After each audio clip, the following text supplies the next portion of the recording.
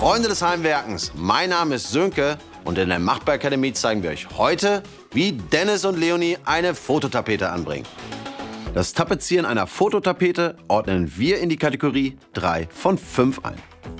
Für das Projekt braucht ihr einen halben Tag und ihr solltet einen Freund oder eine Freundin um Hilfe bitten. Im ersten Schritt bereiten wir die Wand vor. Als nächstes messen wir aus und zeichnen Hilfslinien ein. Und schließlich bringen wir die Tapetenbögen auf.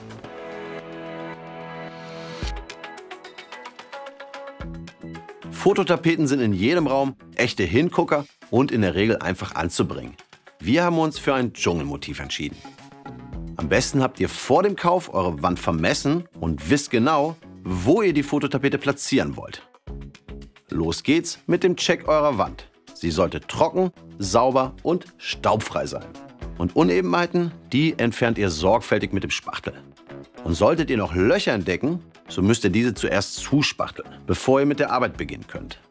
Fototapeten haben eine glatte Oberfläche, deswegen müsst ihr bei der Vorbereitung besonders sorgfältig sein. Kleinste Unebenheiten des Untergrundes werden sich am Ende deutlich abzeichnen.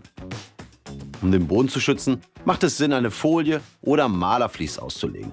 Außerdem kleben wir die Fußleisten ab, um sie vor heruntertropfendem Kleister zu schützen. Dann entfernt ihr noch die Abdeckungen von Lichtschaltern und Steckdosen. Und wie immer bei der Arbeit mit Elektrizität gilt natürlich die Regel, die Sicherungen auszuschalten. Und wenn ihr alles vorbereitet habt, dann kann es jetzt losgehen.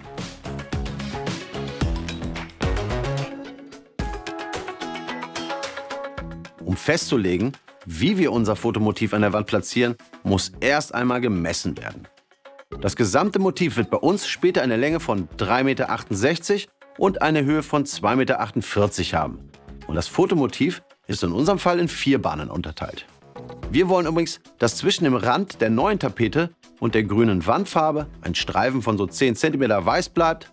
Das müssen wir gleich beim Einzeichnen mit beachten. Zuerst messen wir die Höhe unserer Wand. In unserem Fall haben wir 2,90 Meter bis zur Decke. Und die halbieren wir und markieren die 1,45 Meter vom Boden aus auf unserer Wand.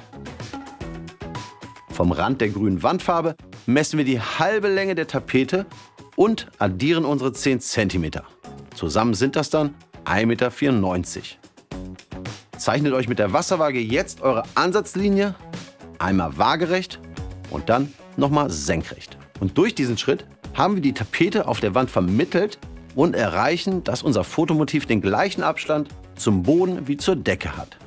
Rechts bleibt ein Streifen von 10 cm, oben und unten sind es dann 21. Das Kreuz, das markiert jetzt unseren Mittelpunkt und von dort aus können wir mit dem Kleben der nummerierten Bahnen beginnen. In der Regel wird zu jedem Fototapetenset auch gleich der richtige Kleister mitgeliefert. Und den mischen wir in einem Eimer kaltem Wasser mit Hilfe eines Akkuschraubers und Universalrührers an. Und dabei halten wir uns genau an die Vorgaben des Herstellers. Unsere Fototapete wird später nach dem sogenannten Wandklebeverfahren angebracht. Das heißt, der Kleister wird nicht auf die Tapete, sondern direkt auf die Wand angebracht. Und nun können wir mit dem Tapezieren beginnen. Ihr kleistert die Wand ein, aber nur für den einen Bogen, den ihr anbringen wollt. An den Rändern tragt ihr den Kleister mit dem Pinsel oder einer kleinen Rolle auf und in der Mitte könnt ihr großflächiger mit der großen Malerrolle arbeiten. Die richtige Trocknung, die ist bei Fototapeten besonders wichtig. Achtet darauf, dass ihr bis zum Ende der Trocknungszeit rund 20 Grad Raumtemperatur habt und dass ihr im gleichen Zeitraum Zugluft vermeidet. Denn sollte der Kleister ungleichmäßig durchtrocknen, kann die Tapete rissig werden oder sich an den Nähten lösen. Und alles eingekleistert? Dann kann es jetzt losgehen. Die erste Tapetenbahn setzt ihr an eure Ansatzlinie an und arbeitet da genau, denn sonst wird das Endergebnis nachher schief. Diese Arbeit solltet ihr auf jeden Fall zu zweit durchführen. Einer hält, der andere justiert. Und sobald die Fototapete an der einen Seite ausgerichtet ist, könnt ihr die erste Bahn vollständig auflegen. Und dann rollt ihr euren Bogen komplett mit einem Tapetenroller aus Moosgummi schön ab. Damit entfernt ihr ganz einfach alle entstandenen Luftblasen. Und lieber einmal mehr als zu wenig rollen. Das sorgt dafür, dass die Tapete perfekt an der Wand anliegt. Achtet aber darauf, nicht zu viel Druck auszuüben. Denn ihr wollt zwar die Luftblasen der Tapete entfernen, aber nicht den kompletten Kleister wieder rausdrücken. Falls ein bisschen an den Rändern herausquillt, entfernt ihr den mit einem feuchten Tuch, bevor er antrocknen kann. So, und jetzt geht es an den zweiten Bogen. Die Ränder kleistern wir erst einmal sorgfältig mit dem Pinsel ein, den Rest des Kleisters, so wie eben, großflächig mit der Rolle.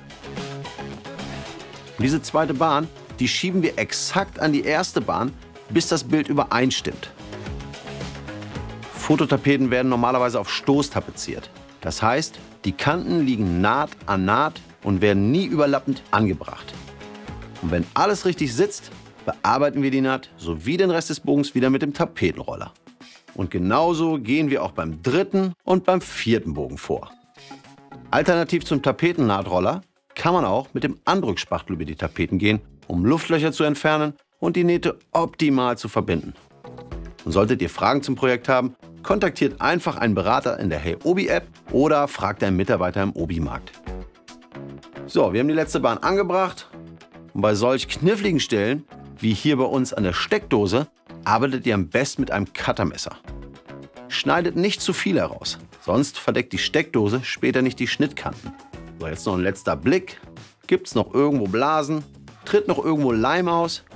Und wenn ihr auch diese letzten Arbeiten erledigt habt, könnt ihr die Abdeckung der Steckdosen wieder anbringen, eure Baustelle aufräumen und habt mit der Fototapete ein echtes optisches Highlight gesetzt.